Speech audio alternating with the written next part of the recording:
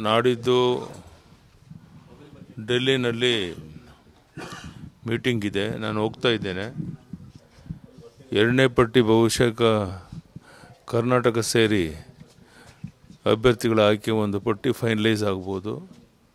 ಆ ದೃಷ್ಟಿಯಿಂದ ನಾನು ನಾಡಿದ್ದು ಡೆಲ್ಲಿಗೆ ಹೋಗ್ತಾ ಇದ್ದೇನೆ. ಬಹುತೇಕ ಪಟ್ಟಿ ನಾಡಿದ್ದು ಅಂತಿಮ ಆಗುತ್ತೆ ಅಂತ ಭಾವಿಸಿದ್ದೇನೆ. ರಾಷ್ಟ್ರೀಯ ನಾಯಕರೆಲ್ಲ ಒಟ್ಟಾಗಿ ಸೇರಿ ಒಂದು ಅಂತಿಮ ತೀರ್ಮಾನವನ್ನು ತಗೊಳ್ತಾರೆ.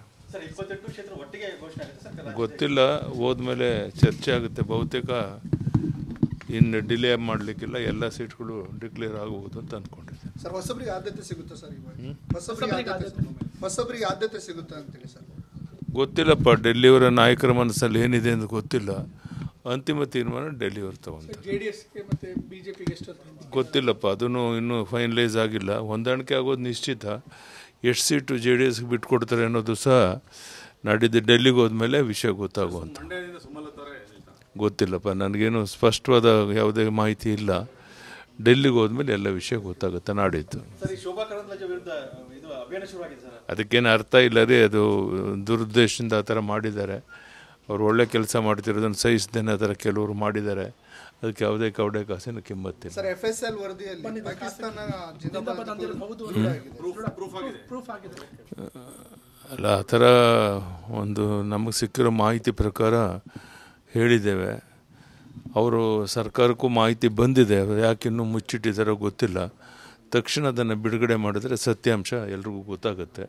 ಅದನ್ನು ಮಾಡಬೇಕು ಅಂತ ಸರ್ಕಾರಕ್ಕೆ ಒತ್ತಾಯ ಅದೇ ಸರ್ಕಾರನೇ ಅದ್ರ ಬಗ್ಗೆ ಉತ್ತರ ಕೊಡಬೇಕಷ್ಟೇ. ಅನಗತ್ಯವಾಗಿ ಡಿಲೇ ಮಾಡ್ತಿದ್ರೆ ಇಷ್ಟು ಡಿಲೇ ಆಗೋ ಅಗತ್ಯ ಇರಲಿಲ್ಲ. ತಕ್ಷಣ ಅದನ್ನು ಬಿಡುಗಡೆ ಮಾಡಬೇಕು. ಏನು ರಿಪೋರ್ಟ್ ಇದೆ ಅದನ್ನು? ವಾಸ್ತವಿಕ ಸಂಗತಿ ರಾಜ್ಯದ ಜನತೆಗೆ ದೇಶ ಜನತೆಗೆ ಗೊತ್ತಾಗಬೇಕು ಅನ್ನೋ ಒತ್ತಾಯವನ್ನು ಮಾಡ್ತೀವಿ ಹ್ಞೂ ಎಲ್ಲ ವಿನಾಕಾರಣ ಡಿಲೇ ಮಾಡ್ತಾ ಇದ್ದಾರೆ. ತಕ್ಷಣ ಅದೆಲ್ಲವನ್ನು ಮಾಡೋದರಿಂದ ಕ್ರಮ ತಗೊಳ್ಳೋಕೆ ಅನುಕೂಲ ಆಗುತ್ತೆ. ಡಿಲೇ ಮಾಡೋದ್ರಲ್ಲಿ ಏನು ಅರ್ಥ ಇಲ್ಲ. ತಕ್ಷಣ ಅದನ್ನೆಲ್ಲ ಮಾಡಬೇಕು ಅಂತ ಒತ್ತಾಯ ಮಾಡ್ತಾರೆ ಬರ ಅಂತ ಹೇಳಿದ್ರೆ ಅಂದರೆ ಭೀಕರ ಬರಗಾಲ, ಬಹಳ ಮುಖ್ಯವಾಗಿ ಕುಡಿಯೋ ನೀರಿನ ಆಹಾಕಾರ ಬೆಂಗಳೂರಿನಲ್ಲೂ ಸಹ ನೀವು ನೋಡ್ತಾ ಇದ್ದೀರಿ ಯಾವ ಪರಿಸ್ಥಿತಿ ಇದೆ ಅಂತ. ಬಹುಶಃ ನಮ್ಮ ರಾಜ್ಯದ ಇತಿಹಾಸದಲ್ಲಿ ಮೊದಲ ಬಾರಿಗೆ ಒಂದು ಲೀಟರ್ ನೀರನ್ನು ಕೊಂಡ್ಕೊಂಡು ಸ್ಥಿತಿ ಬಂದಿದೆ.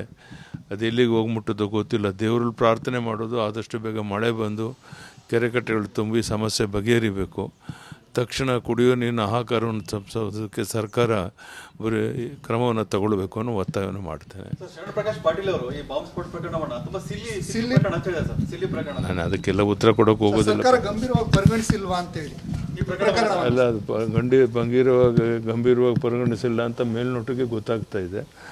ಇನ್ನಾದರೂ ರಾಜ್ಯದ ಜನತೆ ಸಹಜವಾಗಿ ಕುತೂಹಲ ಇರೋದ್ರಿಂದ ಇದನ್ನು ಗಂಭೀರವಾಗಿ ಪರಿಗಣಿಸಿ ಕ್ರಮ ತಗೊಳ್ಬೇಕು ಒತ್ತಾಯ ಮಾಡಿ We'll be.